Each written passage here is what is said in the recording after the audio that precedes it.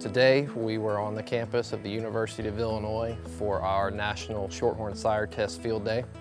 We do our national sire test through the university where we take shorthorn bulls, breed them to commercial black-hided cows, and collect complete performance data from birth all the way to carcass on these cattle. One of the, the neat aspects of, of this project and our capabilities here is that we can collect individual feed intakes. So we have the GrowSafe uh, feeding system that allows us to get individual feed intake in a pin setting. And so not only do we have your typical traits, uh, birth weight, weaning weight, yearling weight, but we also have feed intake, which then allows us to calculate a feed efficiency, and we'll get a full set of carcass data on these. Obviously this project was really put in place to help the Shorthorn Association get more data and particularly on the feed intake and the carcass data. That really allows them to build their database and, and hopefully uh, be able to have a feed intake EPD for the breeders to use and whether, you know, then can be implemented into a selection index.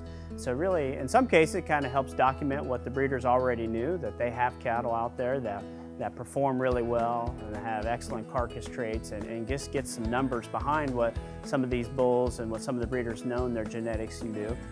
Shorthorn cattle are very, are a very unique breed. They can combine a lot of qualities that are beneficial not only to the commercial cattlemen, but the people that raise them are obviously very proud and know what these cattle can do. They're, they're strong maternally. They're, they make good cows. They can stay in the herd a long time.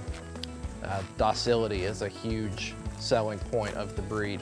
You know, with the, the Shorthorn cattle have done really well. They, um, they've calved unassisted, birth weights and, and gestation lengths have been right in line with with our Angus sired cattle and that first set of cattle there last year, I think 80 some percent win choice, did really well.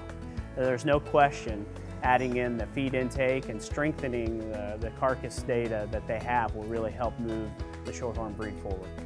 I think the Shorthorn breed has a, has a bright future. I think the more work and research and information we can gather on these cattle to prove their viability to the industry, we can we can start to develop a, a stronger market for shorthorn genetics on, in the commercial industry. There's, there's a demand right now looking for an alternative to some of the black-hided breeds out there that are so popular. Crossbreeding and taking advantage of heterosis, whether it's just in your feeder calves or in replacement females, is something that more and more commercial cattlemen seem to be looking for. And the Shorthorn breed certainly offers that.